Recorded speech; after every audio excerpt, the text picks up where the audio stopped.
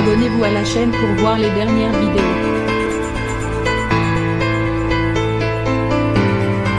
Avec un client mis en examen pour homicide par conjoint et sans réelle possibilité de poser une demande de remise en liberté?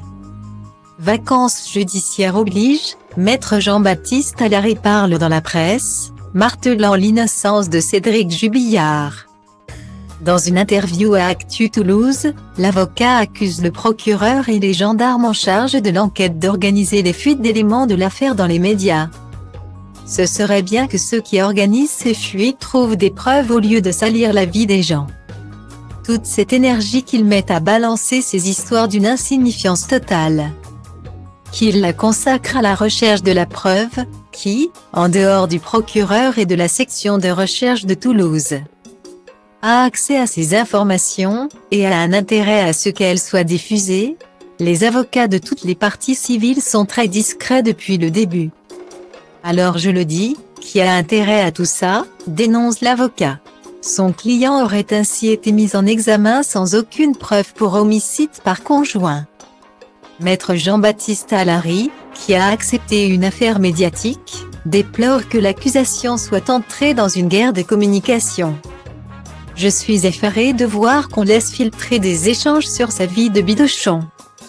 Sur la maison sale, sinon affecte, des jubillards, toutes ces informations n'ont qu'une seule vocation, c'est de salir Cédric Jubillard.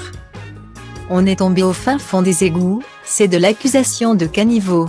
Il se couvre de ridicule, estime-t-il. Pour l'heure, le pénaliste contredit chaque élément développé par le procureur de Toulouse dans sa conférence de presse. Faute d'avoir tenu une conférence de presse propre, avec des éléments uniquement objectifs. Là, on a des personnes, procureurs ou gendarmes, qui croient que les procès se font sur les réseaux sociaux ou dans les médias. Mais il va falloir assumer devant les tribunaux, poursuit-il.